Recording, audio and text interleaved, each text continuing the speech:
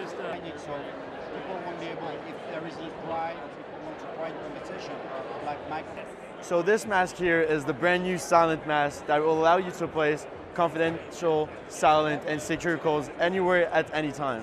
So imagine you're in an airplane and you have people sitting on the left side and on your right side. So you just put on the mask and the people around you will not be able to hear you.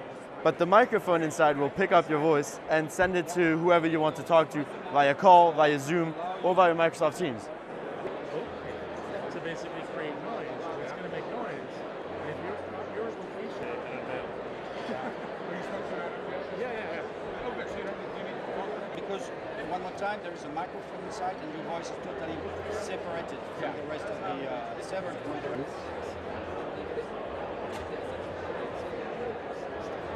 The way it works is we have uh, resonators placed inside.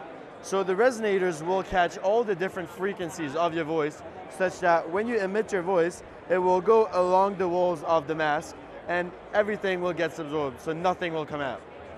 It's Europe, it has open since June. So you can Lufthansa, you can make a call.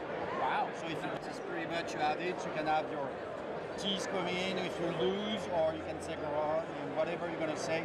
You can have your of what is inside, pretty much like like the Google Drive, and you're gonna be able to uh, buy. Well, we have many different users. We're looking mainly at business people, so people traveling a lot, commuters as well.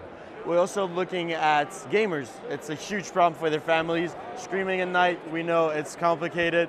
But then we also have the government. For example, the army, special forces, they cannot be too loud. And then we have businesses, so open, uh, open uh, offices, call centers as well. Two. So one is fine. The next one is on the outside. It on the inside. Yeah.